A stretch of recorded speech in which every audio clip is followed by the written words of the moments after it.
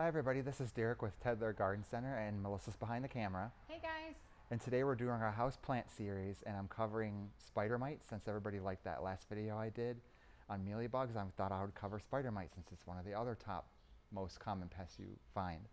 This one was luckily that I found it as it was coming in, but it also gives you a good chance to see what they look like. One thing I'm going to mention is Melissa's going to try to show you what they look like, but from a camera's view, it's going to be really difficult to tell. So I'm going to give you a couple tricks on how to spot it first, then I'll tell you how to treat it. One method is to take a white piece of printing paper and kind of set it underneath, like I, this is the paper, and shake the plant, and you'll go like that.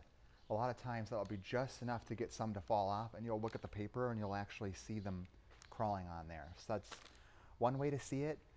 The other is that it kind of looks like dust. Like I said, I don't know if you can see that in the video, but it is there. Is that how you recognized it when yes. it came in? Yes, it looked like dust. And then if you look very close, you might be able to see a little bit of webbing occurring on there, which is another telltale sign. And the last one is the leaves kind of look dulled in color at first. They just kind of, they don't look quite right, if that makes sense. So that's called stippled, where you can, if you looked really close, you'd be able to see the damage in there, but from our eye, it just kind of looks dulled in appearance. Um, if I were to let this go and did nothing, it, the whole plant would eventually turn brown. It would lose all of its leaves. So the good news is we spotted it and we're going to treat it before it goes in. Um, and then it will be quarantined and all that too. So how you treat it, there's a couple different ways you can treat it. This is what I do. Oh, another thing to show you too before I go too far.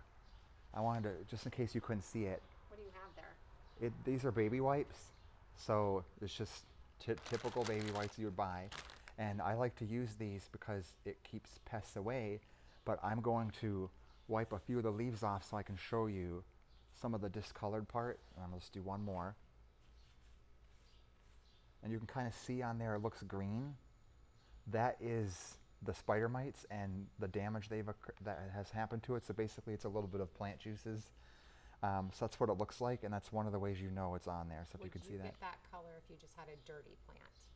It would be so it would look brown, but you can kind of see that it's more green. So I guess yes, there will be something that comes off of it from a dirty plant, but it would mostly be brown in appearance or kind of white chalky.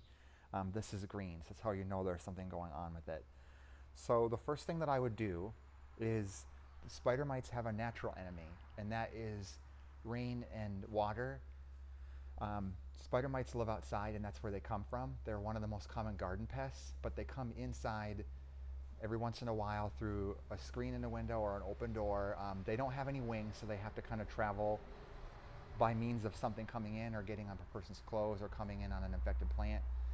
Um, but they like dry weather. So there's two times of the year that I've noticed they're popular. Once is in the winter, right when our heat is turning on, the air dries out because they like dry conditions. They don't like humid conditions. And the other time of the year is like kind of the middle of summer when it's really hot and toasty, especially if it hasn't rained for a week. That's another time they can pop up. So that's when.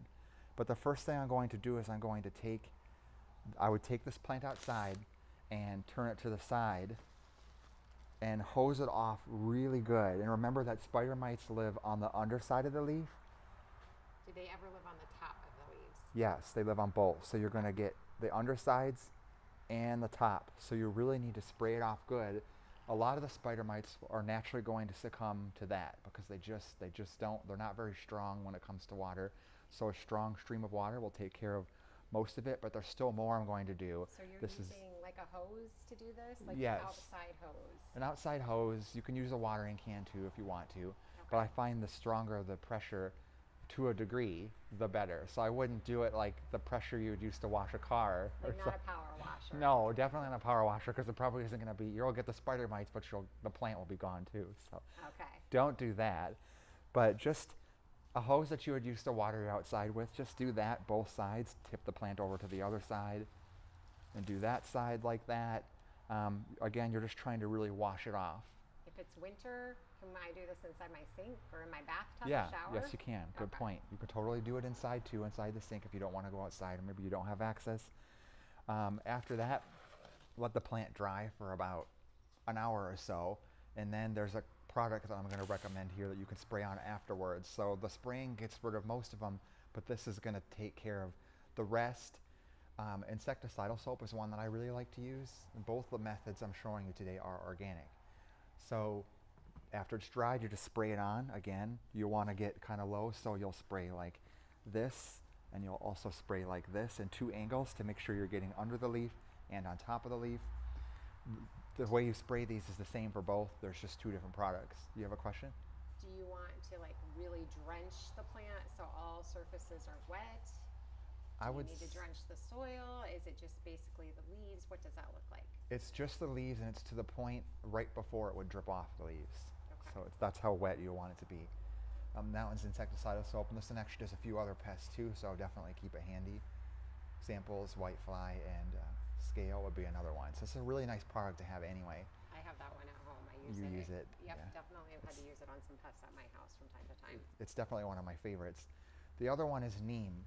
The difference between the two is I feel like this one's a little bit stronger. Yep. So if maybe it's a if you you caught it early, it- it's probably good to use this one. If it's a little bit stronger, you might want to go with this option. But the way you do it is the same. Just spray up and down below. And with a disclaimer on it, you might have to do this more than once because sometimes you might miss a section of it and they start to repopulate because they do form rather fast. So don't forget to do things like pest checking and quarantining your new plants. And most importantly, when you see a problem like this, try not to get too freaked out because spider mites are very treatable in the ways that I just showed you. So if you just follow those methods, you shouldn't have any problem with getting rid of it. You just might have to repeat it. Do you have anything to add, Melissa? Nope, I think you really covered it all, Derek. How can people reach us if they have more questions about spider mites or other pests? Yeah, there's a couple different ways. You can always comment on this video and I'll be happy to respond and let you know what the question is. You can stop on down. That's also a nice, easy way to do it. Um, you can call us. 515-981-1075 is our number. And then I have an email too. I'll just give it to you. D-E-R-E-K. And then it's at T-E-D-S-G-A-R-D-E-N-S dot com. Kind of a long email, but that's my email address. Yep. Those are all the ways you can contact us.